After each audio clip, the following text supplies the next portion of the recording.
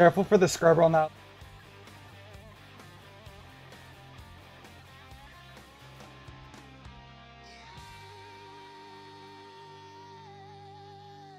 Just hop on it, on fire, hop on it.